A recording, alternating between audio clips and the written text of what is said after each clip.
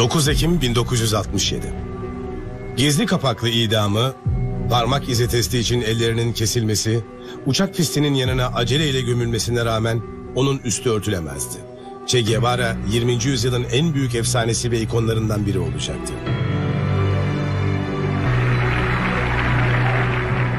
Ölüm haberi yayıldığında gençler her yerde sokaklara çıktı. Portrelerini sağa sola dağıttı. Böylelikle dünyada en bilinen ve üretilen resimlerden biri haline geldi.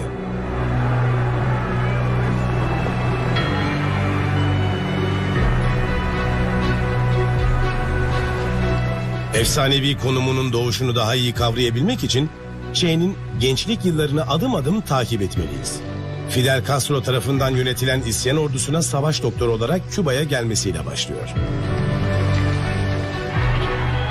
Tamamı filme çekilen ilk devrimin sonrasında güç koridorları boyunca onu takip etmek gerekiyor. Pekin'den Cezayir'e, New York'tan Moskova'ya. Soğuk Savaş'ın zirvesinde uluslararası iletişim savaşında yüzünün neden silah olduğunu anlamaya çalışacağız.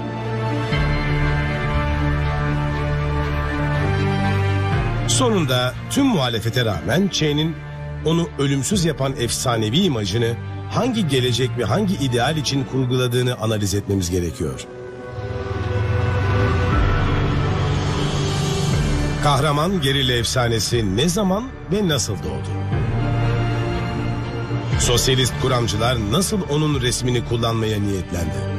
Ernesto Guevara nasıl oldu da sonunda kendi imajının tuzağına düştü?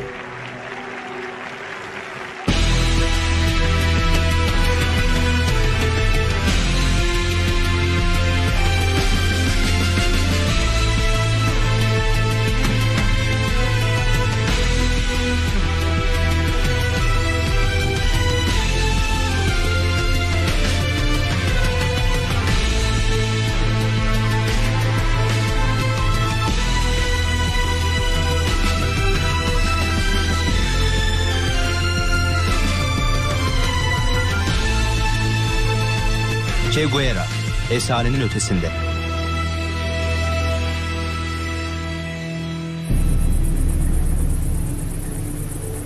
Küba'da her şey daima Sierra Maestra'da başlar.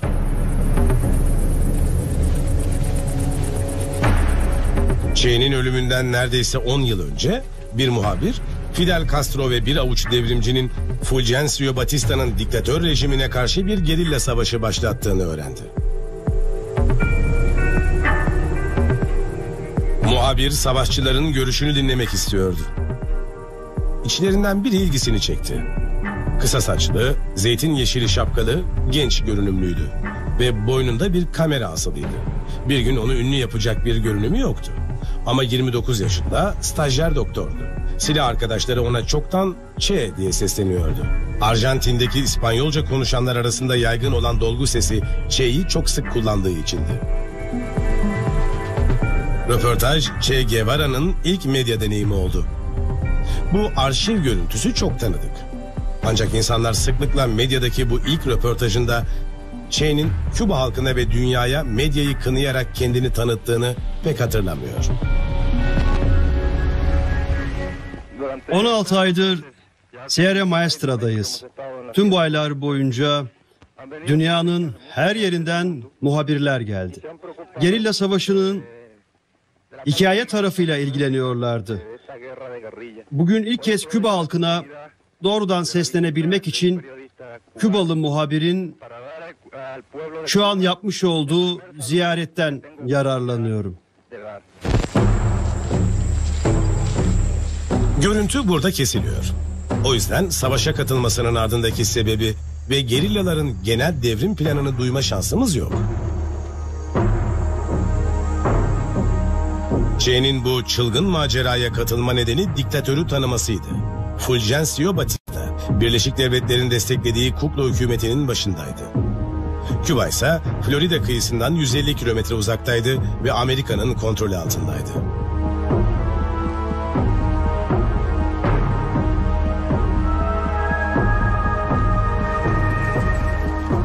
50 yıl boyunca Karayiplerin incisi Amerika'nın oyun alanı ve zevk bahçesiydi. Ama aynı zamanda ana şeker sağlayıcısı ve Guantanamo ile birlikte stratejik askeri karakoluydu.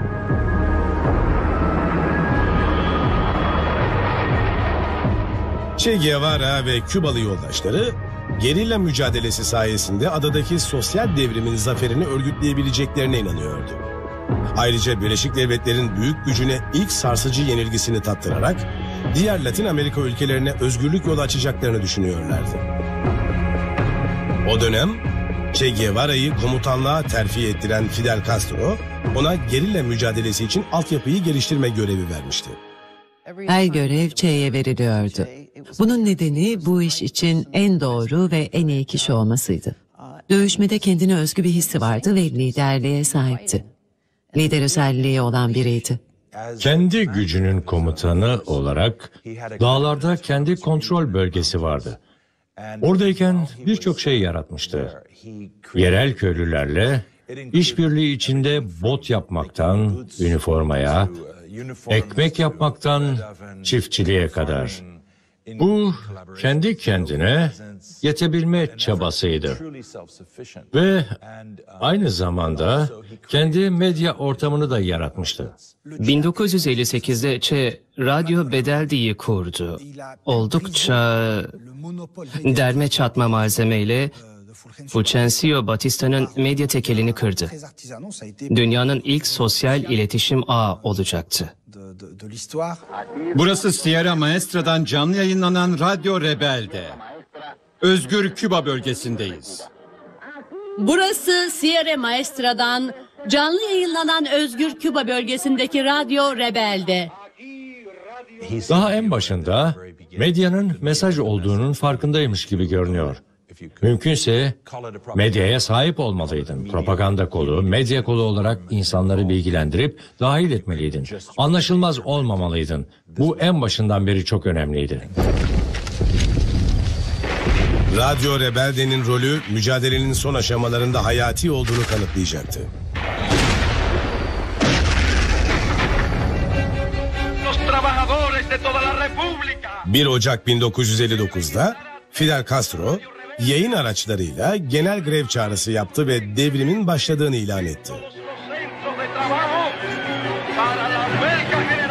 Havana 1 Ocak 1959 Küba halkının gözünde Fidel isyanın yüzüydü. Daha sonra geliştireceği parlak görüntüsünden uzak olan Che şimdilik gölgelerde bekliyordu.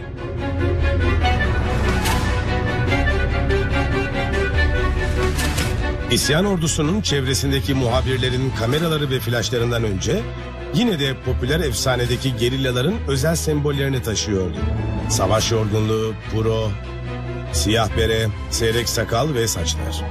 Buna rağmen yüzü pratikte tanınmıyordu.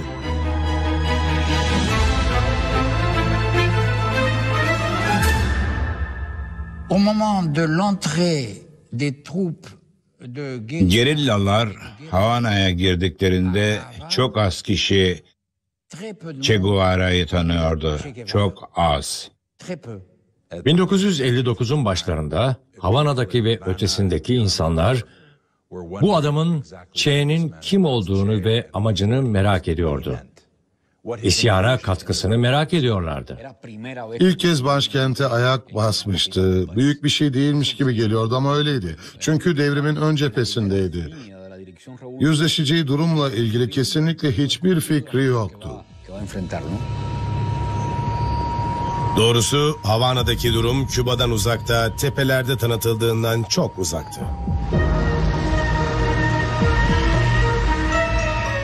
Havana, gelişmiş herhangi bir ülke için başkent olmaya uygundu. Evet, ırk ayrımcılığı hala yaygındı. Fuhuş hala büyük bir sektördü. En yoksullar inanılmaz yoksuldu. Binlerce çocuk sokaklarda yaşıyordu. Ancak adanın bu bölümünde elektrik olmasa bile başkentin altyapısı yeni dünyada en modernler arasındaydı. Orta sınıf telefon ağının keyfini çıkarıyordu.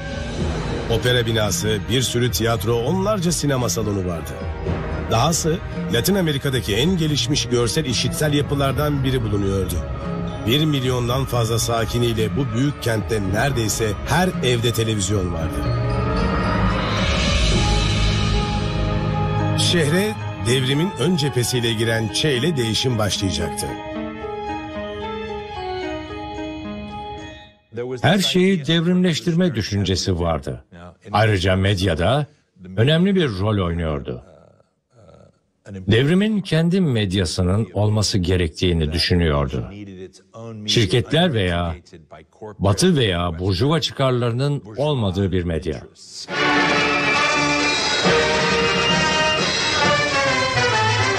Yeni filizlenen devrimin attığı ilk adımın Küba sinema endüstrisi ve sanat endüstrisini kurmak olması tesadüf değildi.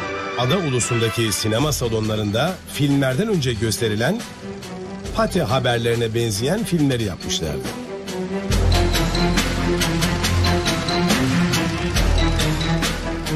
Ancak Che Guevara'nın geri kalan Küba kitle medyasının yeniden yapılanmasında oynadığı doğrudan rol hakkında az şey biliyoruz. Devrim ilan edildikten yalnızca iki hafta sonra yeni Küba basın ajansı Prense Latina'yı kurdu. Ana Birleşik Devletler haber ağlarına rakip olması ve devrim mesajını tüm dünyaya yayınlaması gerekiyordu.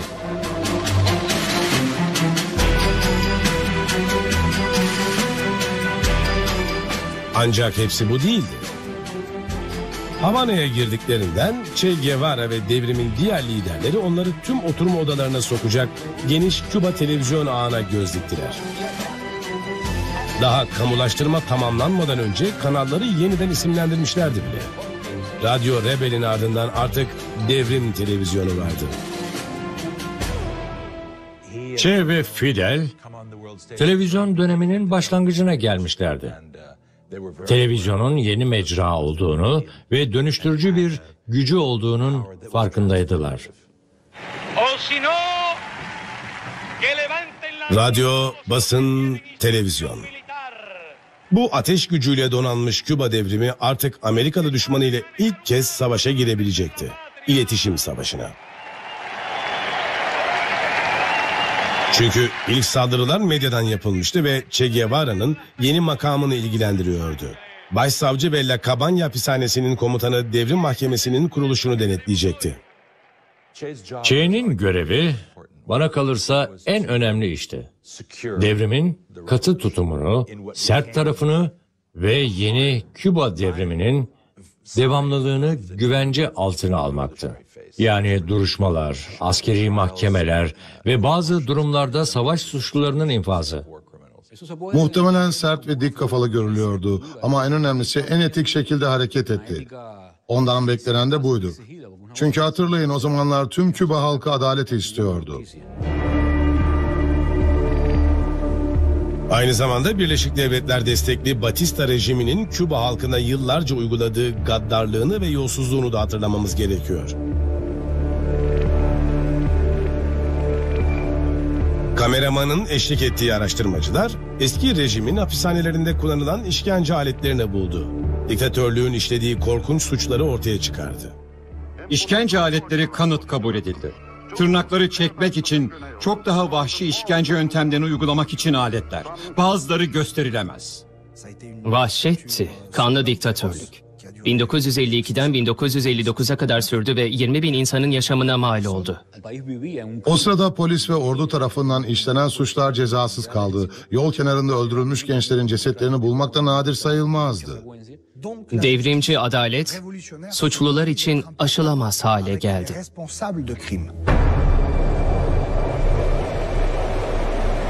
Havana limanına bakan askeri kalede neredeyse 2000 kişi kameraların önünde hapse atıldı. Che Guevara, İkinci Dünya Savaşı'ndan sonra kurulanlara benzer biçimde devrim mahkemelerini işleme soktu. Ölüm cezaları artmaya başladı. Örneğin eski Santa Clara polis amiri Cornelio Rojas gibi.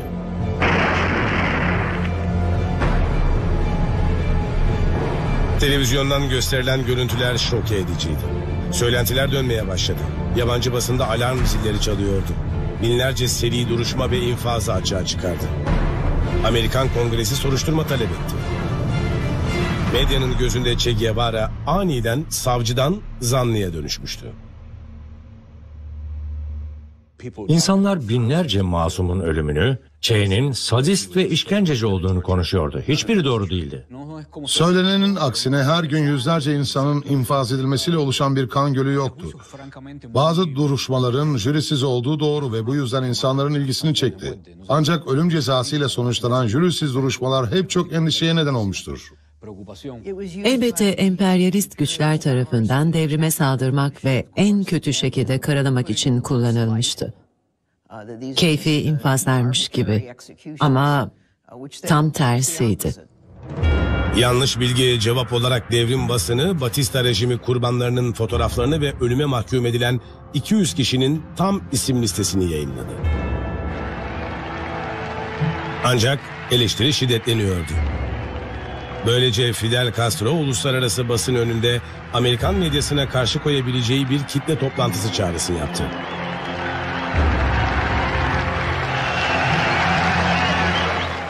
Bizi kamuoyu önünde ezmek istediler. Ancak Küba devriminin mücadele etmeyi bildiğini ve kazanacağını fark edemediler. Küba'da bu medya savaşına Operasyon Verdad kod adı verilmişti. Gerçek operasyonu, Küba halkına ve dünyaya duruşmaların yasal savunmaya saygı duyduğunu ve sanıkların suçlu olduğunu kanıtlamak için Fidel Castro, Che Guevara'ya bir günde 22 Ocak 1959'da uzun bir duruşma serisi hazırlamasını istedi. Spor sarayında 17 bin Kübalı'nın önünde ilk duruşma başladı. Prensa Latina ve Devrim Televizyonu'nun da oynayacak rolleri vardı. Etkinliği kaydetmek ve dünyanın her yerinden gelen 400'den fazla muhabire servis etmek gibi. Bazı tanıkların ifadeleri trajedinin kıyısında. İçlerinden biri 12 yaşında bir oğlan. Sanıkları işaret ederek kalabalık bağırıyor. Öldürün onu. Birkaç saat sonra Blanco infaz ediliyor. Küba'daki mahkemelere tepkiler artıyor. Ancak Küba devrimcileri Moskova'da sergilenenlere benzer gösteri duruşmaları yapmakla suçlandıkları için tartışmalar arttı. ABD'den veya Avrupa'dan gelen Batılılar için Roma sirkleri gibi kalabalığın hükümlülere bağırdığı gösteri duruşması veya düzmece mahkeme gibi görünüyordu. Medya savaşındaki ilk mücadele kaybedilmişti. Artık Che Guevara ismi daha çok biliniyordu. Ancak karşı devrimciler ona takma ad vermişti. La Cabana kasabı. Fidel Castro duruşmaları askıya aldı. Che devam etmek istedi. Fidel, politik riskin devam etmek için çok büyük olduğunu hissetti ve durdurdu.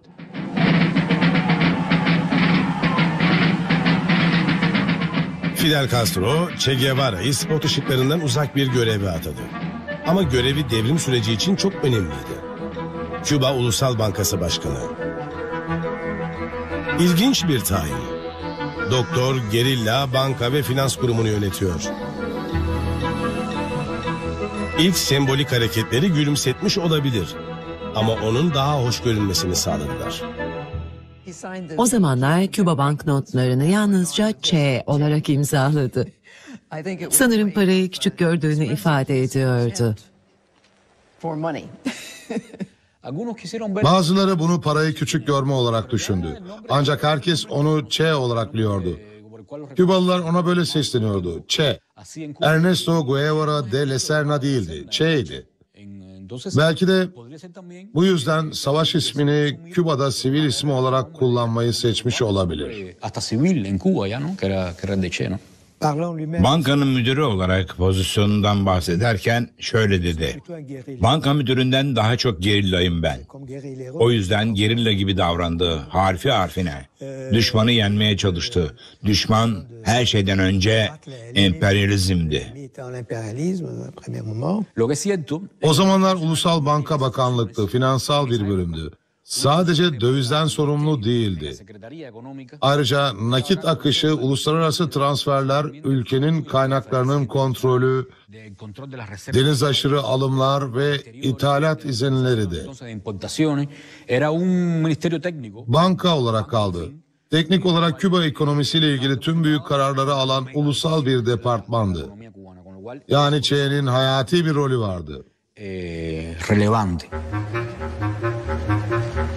Bu ana rol onu spot ışıklarına sürükledi. Che her ne kadar Amerikan bankalarının kamulaştırılmasında Castro'nun gölgesinde gibi görünse de haber muhabirlerinin yıldızı o olmuştu.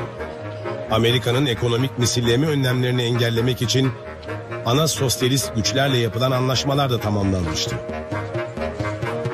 Banker prosu içen ama savaş giysileri giymiş bir banker iş arkadaşlarını ve yabancı basını şaşırtmıştı.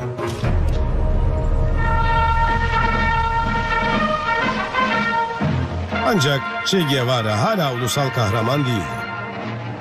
Kimse 1 Mayıs 1960'da devrim meydanında resimlerini sallamamıştı. Küba'da kült kişiler olmasalar da Küba bağımsızlığının öncüsü sayılan Jose Martini'nin ev yapımı büstlerini ve devrim komutanı Camillo Cienfuegos'un portresini kullanıyorlardı. Ya da bazen nadir de olsa Fidel Castro'yu tercih edebiliyorlardı. Bu duvarda Che'nin ünlü portresinden iz yoktu. Yine de bu işçi bayramı yürüyüşünden aylar önce günümüzde ünlü olan o fotoğraf çoktan çekilmişti.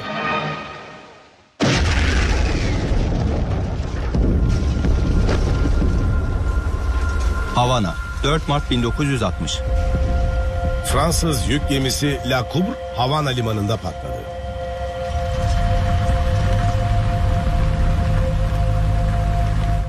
Gemi kıyıdaki eski Havana'nın ardında eski Havana'nın rıhtımında yüklenmişti. Ve patladı. Yüzden fazla insanın öldüğü iki patlama oldu. Kimse tam sayıyı bilmiyor. Buharlaşmışlardı. Küba yetkilileri anında CIA'den şüphelendi. Çünkü en başından beri Amerika Birleşik Devletleri devrim sırasında medya savaşından fazlasını yapıyordu.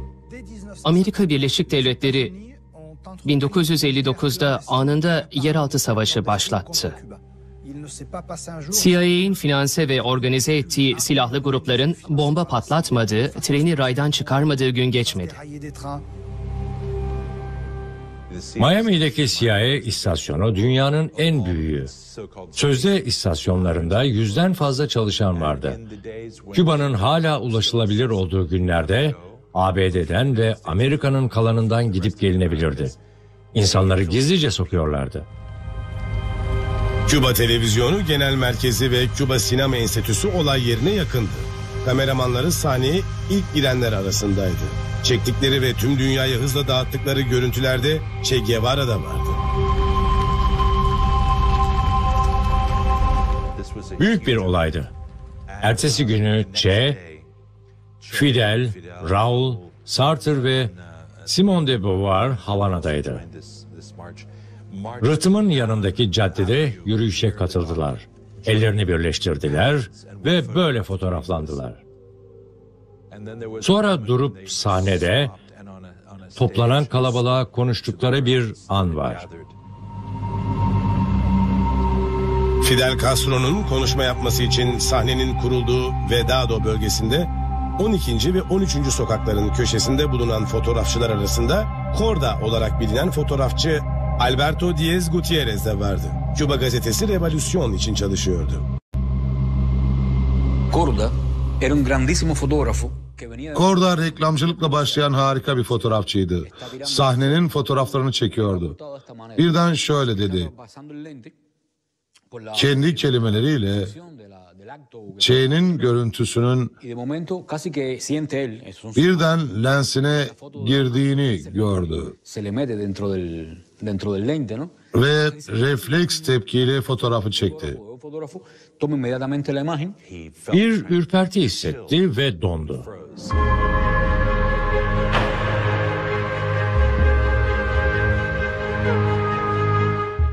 Tabii ki çektiği fotoğraf Che'nin tek başına tarih olan ünlü fotoğrafıydı.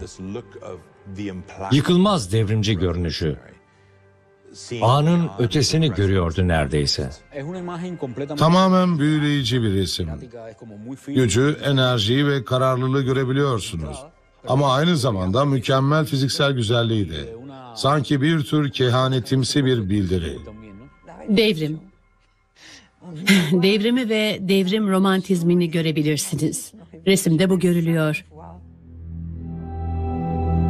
Corda'nın Guerriero Heroico, muhteşem gerilla savaşçısı olarak adlandırdığı fotoğraf hemen ünlü olmadı. Tamamen odak dışındaydı.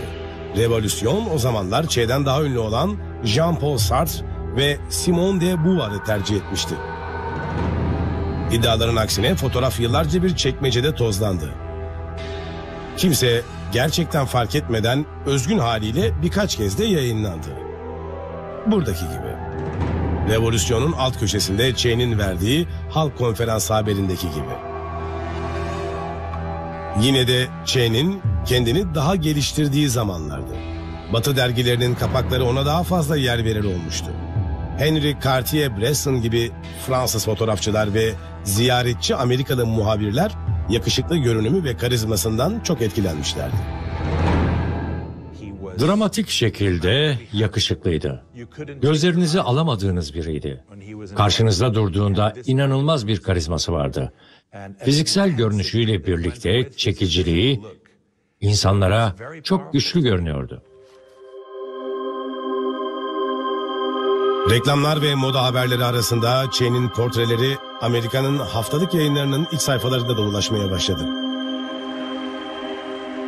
Ancak Fidel Castro hala Amerika Birleşik Devletleri'nde daha ünlüydü ve nispeten ılımlı görülüyordu. Küba devrimi hala sosyalist ilan edilmemişti. Böylece muhafazakar propaganda araçları Soğuk Savaş sırasında Kızıl Tehlike korkusunu kışkırtmak için ilgisini Ç'ye çevirmiş oldu. Saygın Time dergisi onu kapak yaptı ve devrimin beyni olarak tanıttı.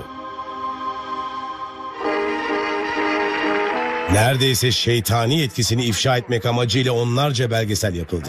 Che Guevara 26 Temmuz hareketinin en üst noktalarından birinde çalıştı ve Castro üzerinde Rasputin benzeri etkisini kullandı. Birleşik Devletler'den nefret ediyor. Çok Amerikanvari bir yaklaşım. Bu başlık devrimin beyni Çe'yi şaşırtmış olmalı. Çünkü pek Marksist bir bakış açısı değil ve devrim sürecinin anlaşılmadığını gösteriyor.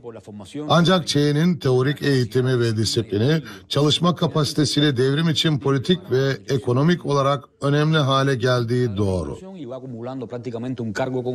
Yani öyle ya da böyle sonunda büyük gücü ve devrimcilerin arasındaki sorumluluğuyla en önemli figürlerden biri haline geldi. Soğuk Savaş'ın zirvesinde batıdaki tehlikeli Bolşevikler olarak ifşa edilen Doğu bloğu doğal olarak Che Guevara'ya ilgi göstermeye başladı. Özellikle de Sovyetler Birliği'ndeki Komünist Parti'nin 20. kongresi ve Kruşçev'in suçlanmasının sonrasında Moskova insanlara ilham verecek yeni yüzler aramaya başlamıştı. Çok önceden Sovyetler Birliği'ni ziyaret etmiş ve Fidel'in kardeşi olması gerçeğiyle Raul Castro'yu denediler. Ancak kabul edelim ki o pek karizmatik değildi. O yüzden Sovyetler Birliği Küba'dan yeni yüzlerle tanışmaya çok hevesliydi. Ziyareti sırasında her adımı izlendi, sergilendi ve filme alındı. Bir sürü muhabir ona ayrılmıştı. Baştan çıkarma karşılıklıydı. La Unión Soviética estaba interesada en captar para sí el proceso Sovyetler Birliği Küba devrimini sahiplenmek istiyordu. Çe'ye ve Küba'ya sosyalizmin küresel anavatanının ve tabii Küba sosyalizminin de anavatanının Sovyetler olduğu izlenimini verecek şekilde davranıyorlardı. Era también la madre patria del socialismo para Cuba. Ekim devriminin 43. yıl dönümü. Sovyet liderler devrimin kahraman habercisini coşkuyla karşıladılar.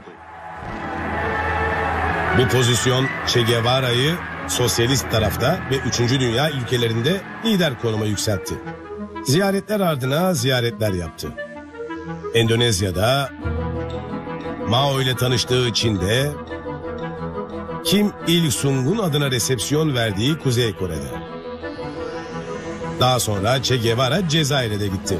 Burada özellikle de Küba'nın desteklediği Ulusal Kurtuluş Cephesi ve yeni bağımsızlaşan insanlar onu içlerinden biri gibi karşıladı.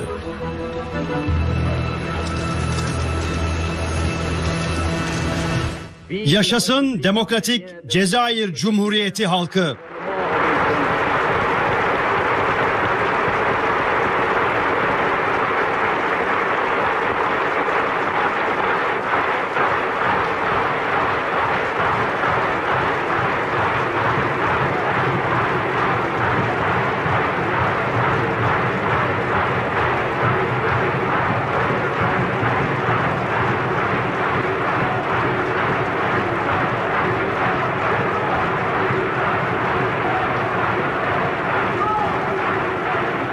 Yaşasın Ulusal Halk Ordusu. Zafer bizim. Kübalı gibi davransa bile Kübalı Kübalı olmadığı gerçeği oldukça oldukça çekiciydi. Çünkü Küba'nın milliyetçiliğinin üstesinden gelebileceğini göstermişti. Gerçekten büyük bir uluslararası kardeşlikti ve ve o bunu başarmıştı. Küba'da aynı zamanda Sanayi Bakanlığı'na atanan Che Guevara'nın popülerliği artıyordu. Sadece dünyayı dolaştığı için ya da Nisan 1961'de Amerika'nın başarısız domuzlar körfezi çıkarmasıyla aşağılanmasında önemli rol oynadığı için de değil.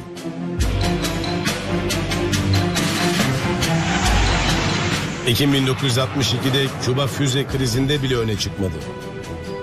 Son iki olayda spot ışığı altında duran kişi Fidel Castro'ydu. Adada büyük bir figür haline gelmesi basın ve televizyon haberlerini dolduran ekonomik tartışmanın ortasında oluşuydu. Daha çok Ortodoks komünistler olarak bilinen sert Stalinciler ve yeni Sanayi Bakanlığı arasında bir mücadele yaşanıyordu. Lenin henüz yaşarken 20 yıl boyunca devrim sürecinde böyle bir tartışma olmamıştı. Tartışma halka açılmıştı. Dergilerde her yerdeydi. Herkes kendi görüşünü savunuyordu. Her şey çok tartışmalıydı ama elbette karşılıklı saygıyla. Tartışmanın karışıklığını idrak etmek ve Che Guevara'nın nasıl sahneye getirildiğini anlamak için bunun kritik bir dönem olduğunu hatırlamak gerek. Amerika Birleşik Devletleri adaya askeri saldırısını ekonomik önlemlerle destekledi. Tarihteki en uzun ve sert ambargo başlamıştı. Sıkıntılar hissedilmeye başlanmıştı. Üretim şirketleri ürüne dönüştürecek ham maddeleri kalmadığında hızlıca çöktü. Nüfus içinse askeri geçim düzeyini garantilemek için yiyecek karneleri dağıtılmaya başlandı. Üç yıl süren devrimle yıpranan halkın morali felaketti. Fabrikalarda işe gelmemeler arttı. Bürokrasi yavaşça işleri felç etti. Küba kısır döngü içindeydi. Bu bağlamda Sanayi Bakanlığı'nın sorunu halkı çabalarını sürdürmeye ikna etmeye çalışmaktı. Soru Sovyetler Birliği'nin yönetim sistemlerinin uygulanıp uygulanmadığıydı. Stakhanovizmin zamanından beri daha fazla kazanmak için daha fazla çalışanın ikna edilmesi fikrine dayanıyordu. Bu işçiler arasında rekabet yarattı. Ayrıca diğerlerinden daha fazla ayrıcalığı olan kısım oluştu. Che bunu reddetti. Maddi teşviklere karşı manevi manevi teşvik fikrini ortaya çıkardı. Yeni sosyalizmin insanları için yeni teşvik ve Küba devrimi için yeni bir yöntem. İnsanlar arasında devrimci bir bilinç geliştirilmeliydi. Altruizm, bireyselliği yenmeliydi. Dayanışma, bencilliğin yerini almalıydı. Görevin tamamlanmasının zevki veya manevi ödül, maddi ödülden daha önemli hale gelmeliydi.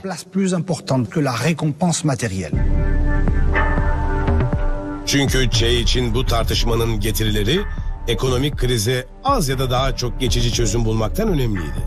Küba'nın tek başına yeni insan yaratması gerekiyordu. Bireysellikten ve kapitalizmden kurtulduğunda komünizmi harekete geçirebilecekti. Böylece daha fazla konuşma yapmaya ve televizyonda görülmeye başlandı. Tüm işçi sınıfındakiler fedakarlık ruhunuzu, komünizm ruhunuzu, hayata karşı yeni tutumunuzu gösterin. Fidel'in söylediğini ve bu salonda inanılanı hep aklınızda tutun. Ölümcül tehlikenin içinde olduğumuz bu zamanda hepimiz üretimde eşit olmak zorundayız. Biz işçiler için vatan ya da ölüm.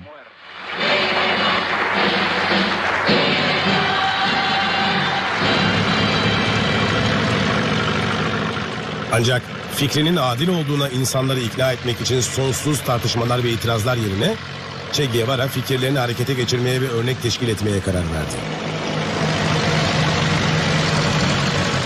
Her zaman en başından beri bir şeyleri yaparak önderlik etmek istedi. Kendi yapamayacağını düşündüğü şeyi başkasından hiç istemedi. Adalet sahibi biriydi. İnsanlardan talep ediyordu. Şey her zaman Küba halkından daha çok çalışmalarını, öğrenmelerini, vatanlarını korumaya hazır olmalarını talep etti. Talep etmek için ahlaki otoriteye ve gerekli meşruiyete sahip olmalısınız. Bunu da yalnızca örnek oluşturarak başarabilirsiniz.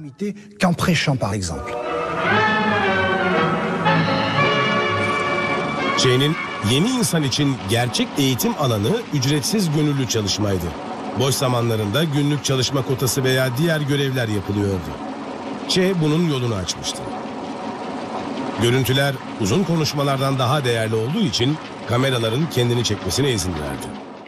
Sanayi Bakanı Komutan Che Guevara gönüllü çalışmasıyla biliniyor.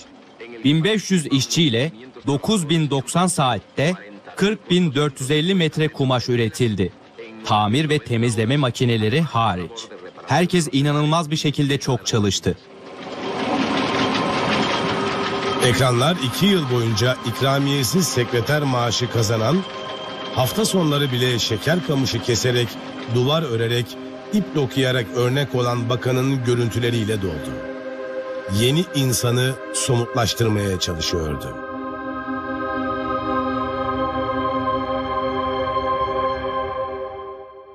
Tam olarak poz vermedi. Ama fotoğrafçıların kendisini takip etmesine de izin verdi. Devrimin bu yönünün önemli olduğunun farkındaydı. Eğer başkalarından yapmasını istediği görevi yerine getiriyorsa, eğer devrim adına insanlardan zamanlarını ve yaşamlarını vermelerini istiyorsa, bunu bunu yaptığını göstermeliydi. Bu gerçekten onun için çok önemliydi.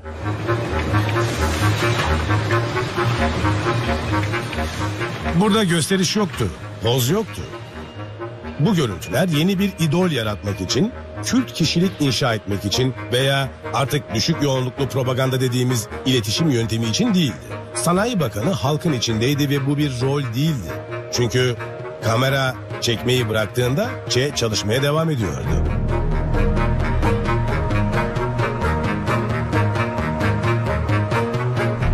Che, Havana limanında ortaya çıktı ve kargo gemisini boşaltmaya yardım etmeye başladı. Çevresindeki Kübalılar birkaç dakika yardım edip sonra gideceğine ikna olmuştu. Ancak saatlerce orada kalıp son çuval boşaltılana kadar oradan ayrılmaması onlara sürpriz oldu.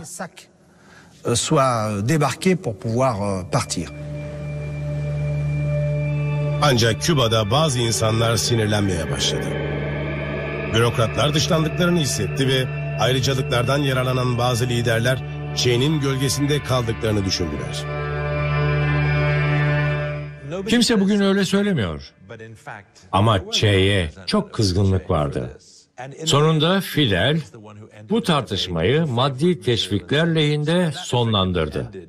Bu da Che'nin Küba'daki Ortodoks komünistlerle etkili ilerleme konusundaki sağlıklı tartışmasını bitirdi. Che Ekonomik mücadeleyi kaybetmiş olsa da medya mücadelesini temiz bir biçimde kazanmıştı. Görüntüsü parıldamaya başladı. 1964'ün sonlarında Küba, Birleşmiş Milletler'in yeni genel kurulunu belirlemek için çağrıldığında Fidel Castro'nun Che'yi New York'a göndermesi çok normaldi. Dünya çapında canlı yayınlanan konuşması kendi başına Küba devrimini somutlaştıran adamı tanıma şansı vermiş oldu. Che zeytin yeşili savaş kıyafetinde kürsüye adım attı. Amerika Birleşik Devletleri ve emperyalist yöntemleriyle ilgili sert bir suçlama yaptı. Bir tür zafer şarkısıydı. Üçüncü dünya bağımsızlığına bir ilahiydi.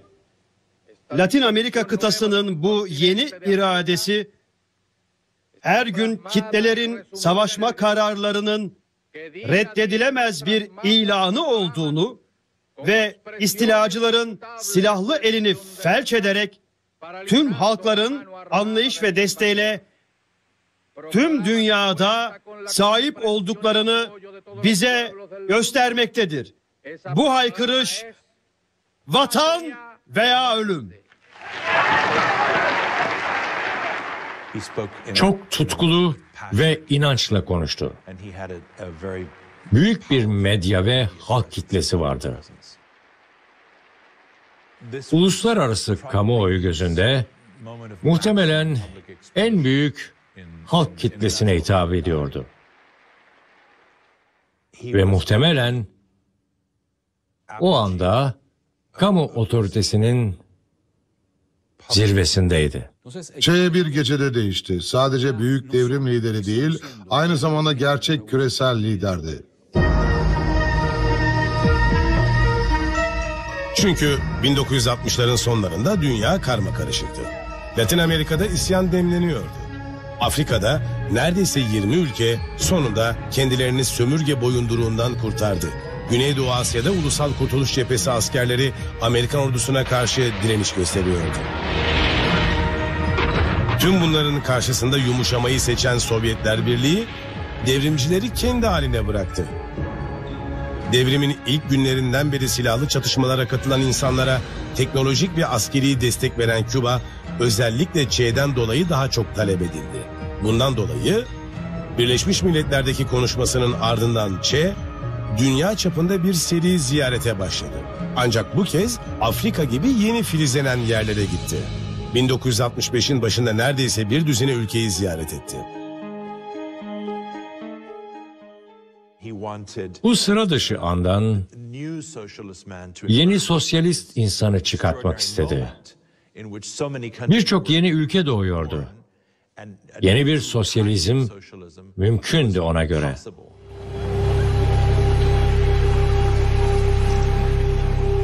Her yerde insanlar onu tanımaya başlamıştı.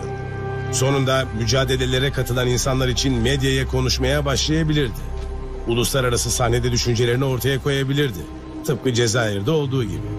Buradaki son görüntüleri var olan tek görüntüler.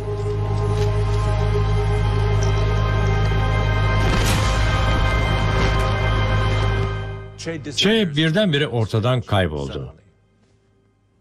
Devrim hükümetindeki bakan, dünya sahnesinde tüm dünya liderleriyle tanışmıştı. Afrika, Asya, Latin Amerika için eylem çağrısı yapmıştı. Birdenbire kayboldu.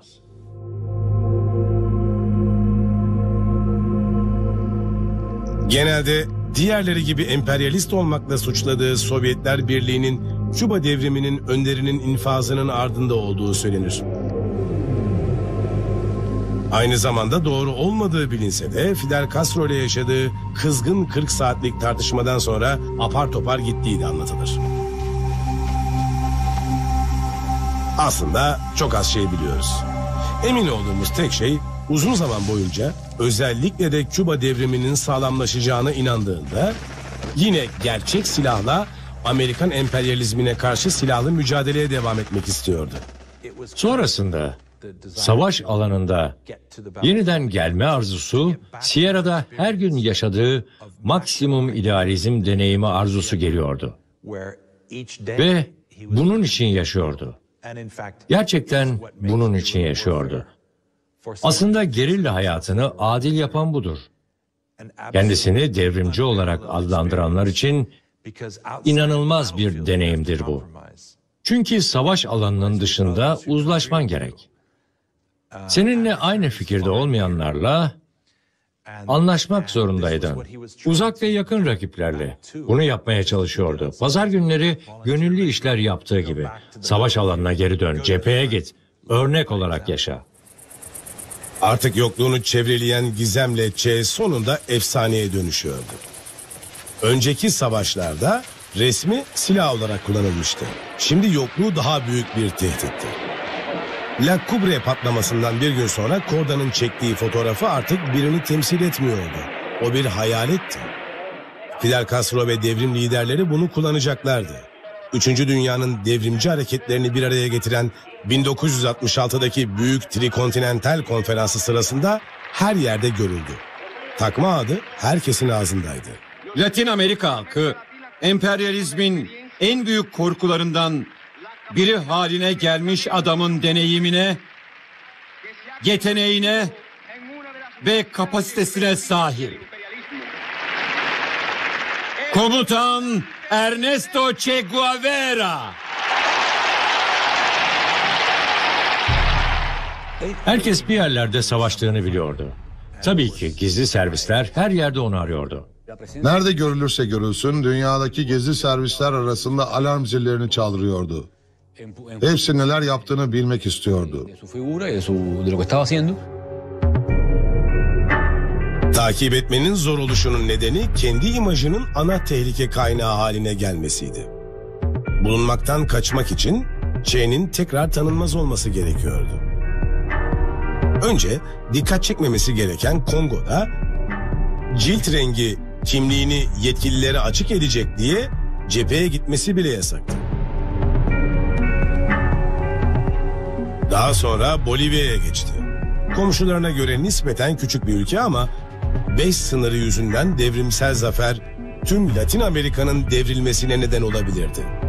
Tanınmış görünümü terk etti. Takma adını attı ve yüzünü bile değiştirdi.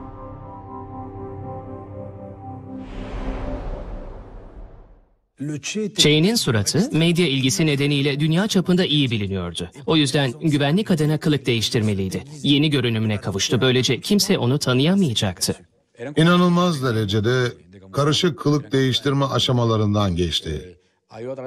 Dişleri tamamen değişti, saç telleri tutam tutam çekildi. Böylece hızla uzamayacaktı. Acı vermiş olmalı. Çok acılı. Kurulmasına yardım ettiği Küba gizli servisi Che'yi değiştirirken Fidel Castro da neşeyle izliyordu.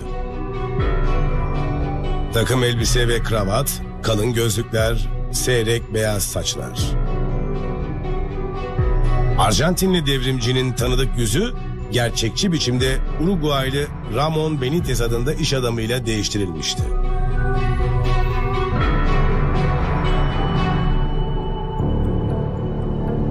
Kübalı makyaj sanatçılarına rağmen kılık değiştirmesi zayıflamıştı. Bolivya dağlarındaki gerilla savaşlarından aylar sonra Che Guevara normale döndü ve hakkında haberler çıkmaya başladı. Onun varlığının ipucunu veren ve Bolivya ve CIA'nin ilgisini çeken ilk şey gazeteydi. Amerika Birleşik Devletleri eğitimli Bolivya özel güçleri onu takip etmeleri için gönderildi. Hala savaşabilecek durumdaki bir avuç gerillaya 2000 adamın saldırdığı mücadeleden sonra güçlü dirençlerine rağmen Che Guevara tutuklandı. La Higuara köyüne götürüldü ve canlı son fotoğrafı çekildi. Yakalayanlar yanında duruyordu. Daha sonra 9 Ekim 1967'de tutuklanışından bir gün sonra idam edildi.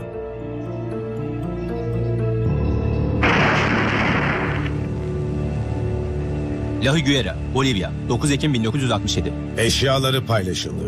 Cesedi hastane çamaşırhanesinde sergilendi. Olayı ölümsüzleştirmek için basın toplandı. Daha sonra kaderin cilvesiyle elleri parmak izi testi için CIA tarafından kesildi. Günün gazetesine sarılarak gönderildi.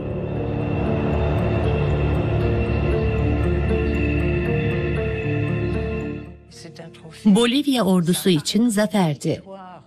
Müthiş bir zaferdi. Askeri zaferdi. Washington için de politik zaferdi. Dünyaya sergilemek için ölümünü kanıtlamaları gerekiyordu. Böylece hayalleri yıkmayı, onun ve temsil ettiği düşüncenin başarısızlığını kanıtlamayı umuyorlardı. Fotoğraflar dünya çapında gösterildi. Che'nin ölümünü ve gerilla savaşçılarının yenilgisini resmi olarak Küba televizyonunda açıklayan kişi Fidel Castro oldu.